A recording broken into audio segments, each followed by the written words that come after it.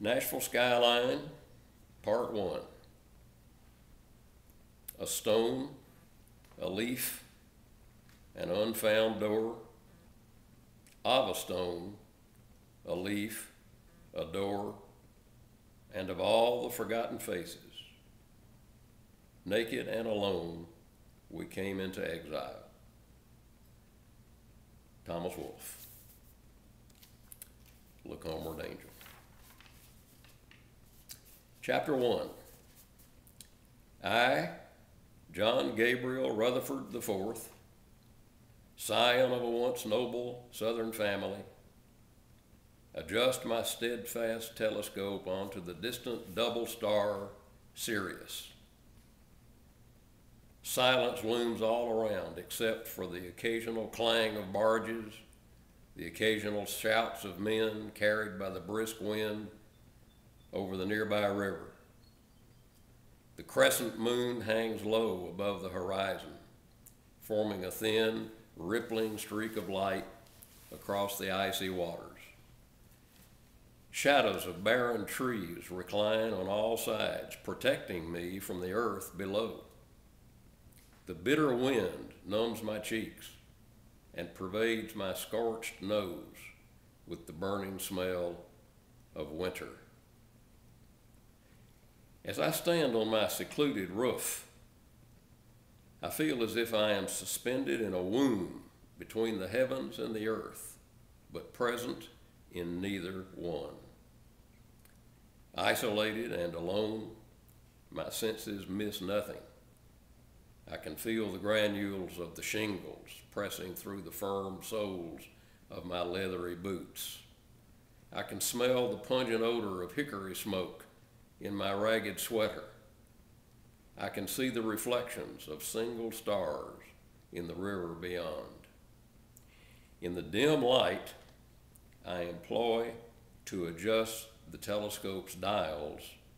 My warm breath fills the air with every exhalation. Looking down at the reddish glow of my waxen hand, I wonder if I am just a phantom in another dimension of the universe a nightmare in someone else's dream. My bones ache from the need to convince myself of my reality. The stars convince me of my reality. You see, I'm a watcher. I have always been a watcher, and I will forever be a watcher, incapable of the kind of action the heavens demand and yet, the possibility remains that I can act, that I can join this world and assume responsibility for myself as well as for others. But now I am just a cosmic voyeur, a peeping Tom of the universe. I should be struck down by the gods for gazing upon so much history, upon so much splendor and magnificence. I see every star I look upon as it existed years and years before. Even the light reflected off my hand is from the past. You see, there is no present. It is just an illusion. The present implies a time full of pleasant possibilities for the future, a time where every step signals the beginning of an infinite number of steps from which to choose. A time that someone can take with such ease that he does not even have to be aware of, his, of its existence. But in this world, I do not have those infinite possible steps to embrace. I exist on an imaginary tightrope and must watch every step lest I fall into the cold, dark abyss. I live in constant fear of the future, in fear that the inevitable will take place. And I live in constant fear of the past, in fear that what has already happened will happen again. How can the present exist in such a world? As I look for Sirius, I ponder what the reserved scientists would say about this beautiful star.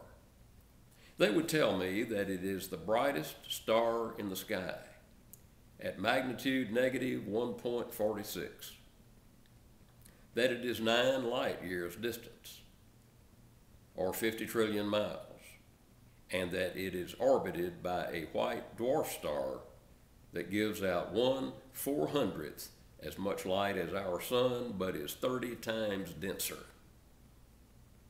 Pint of this dwarf companion star would weigh almost 25 tons. Amazing even to us watchers. Now, a scientist finds Sirius by going into his neat little lab packed full of pristine scientific instruments. A stained coffee pot brews on the warmer, and a tiny refrigerator hums in the corner. The aloof scientist saunters over to his beloved computer and punches the following into the keyboard Right ascension, 6 hours, 45 minutes, and 9 seconds. Declination, negative 16 degrees, 42 minutes, and 58 seconds. Motors begin to whir, and now, if the scientist should happen to look through the eyepiece of his telescope, he would see Sirius. But chances are that he has absolute faith in his computer and complete trust in his telescope. And at once he begins spectroscopic recordings, photometric readings, and infrared photos. Instruments flash with multicolored lights. Tape drums hum, shutters click, and miles and miles of data pour forth on the little strips of paper and magnetic discs. Once the recording of the data is complete, the cold scientist deigns to look through the scope as if to pat himself on the back and say, This truly is Sirius. But believe me, he will have seen everything and anything but Sirius. But when I look at Sirius, I first look at Orion, a man of great stature and beauty. I feel the pain and sadness when he was blinded by the king of Chios for loving the royal daughter. The joy when the sun restored his sight, and the tragedy when Diana was tricked into slaying him on the eve of their wedding. I see the tears flowing down Diana's cheeks, tears more sorrowful than earth has ever known. As the waves roll by the lifeless body of great Orion upon the sandy shore. Delicately, she lifts her departed lover, kisses him on his cold lips, and places him in the heavens for all to see. What an unselfish gift for Diana to bestow upon the dead Orion, to bestow upon the ones now living. There stands mighty Orion in the sky for me and everyone else to see, wearing his lavish girdle and dazzling sword, his poised arm holding an immense club above his head. The Pleiad nymphs of Diana fly before him, and behind follows his faithful dog, Sirius. Inhaling some cold air, I scan toward the southern horizon in a line formed by the three stars of Orion's belt. There is Sirius, bright and beautiful and majestic. I then admire the semicircle of stars stationed around Orion. First, there are Castor and Pollux, the inseparable twins, one immortal, the other just a man. And next, there's Procyon, the little dog whose appearance heralds the imminent arrival of Sirius. After Sirius is radiant, radiant Rigel, the left foot of Orion.